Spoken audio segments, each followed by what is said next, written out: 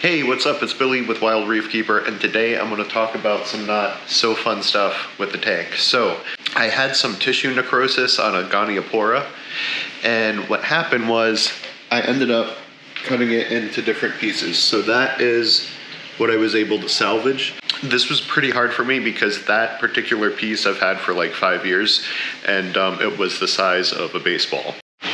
So now I am realizing that the tissue necrosis has spread to another um, colony here.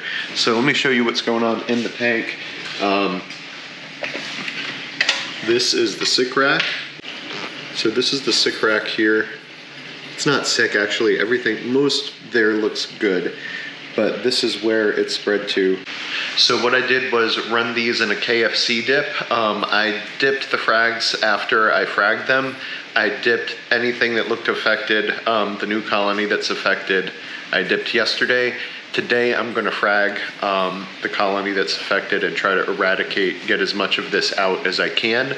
And then I'm going to do a dose for Vibrio in the tank because I believe anytime there's necrosis or brown jelly disease, uh, Vibrio can be a factor.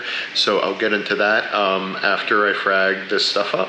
All right, so I'm all set up to do um, my fragging. I have this Gryphon Diamond Band saw I bought from Bulk Reef Supply. I love this thing. I've used it a few times now. Um, and it is the most delicate way to cut coral rather than fragging with something, say this bone cutter here. So I've got my corals ready to go. Um, I've got my supplies on hand. Um, when running the diamond blade saw, I'll speak to that for a second. I just use RO water. Some people have said, oh, use salt water, blah, blah, blah. Um, I don't know what's in the salt water.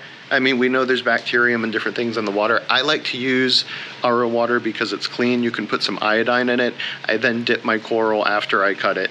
Um, right now, because of the coral necrosis, it's going to be like a very long KFC dip, and then I'm probably going to stick it in some Revive um, and then put it back in, in the tank.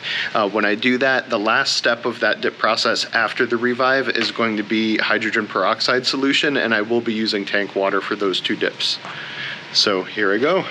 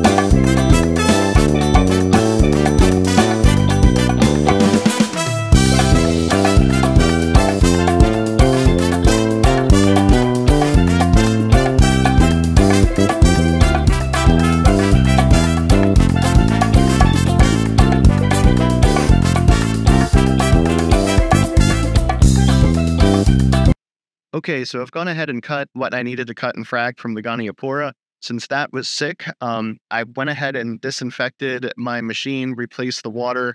Um, this is all clean because I have to cut this Euphyllia right here. Um, this one, not so much. I'm just moving it at the same time. But these two, I'm going to separate so that they can grow um, a little better there. This one's splitting as well. So those colonies are going to get uh, pretty big. Um, my goal is to grow them about twice the size of what they are. Um, this one's splitting very nice, you can see. So, um, oh, a little bit in the process there, or it might be part of the split. I, either way, I'm going to go ahead and um, cut these now. Okay, so I'm back up by the tank. Um, I have my Goniopora sitting um, in the KFC book. So this is my setup at the theater, and um, we want to make sure water was running to oxygen or to the nursery. Um, these are just dipping in,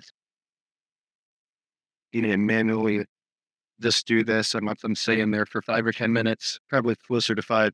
Um, and that is a cap full of Restore and 10 drops of Lugol's um, in about just under a gallon of water. So that's pretty concentrated for that. In five minutes, um, I'm going to take those and then plant them in the tank and just stir it gently um, while they're waiting there. So that is how I cut my coral. Um, I love that uh, Gryphon saw. That is the best way by far to cut the coral. It does not damage or uh, destroy any heads. There's no splintering. So thanks. I hope you enjoyed the video. Be sure to splash that subscribe button and turn on notifications so you're notified of future content from my channel. And uh, thanks for loving the wreath.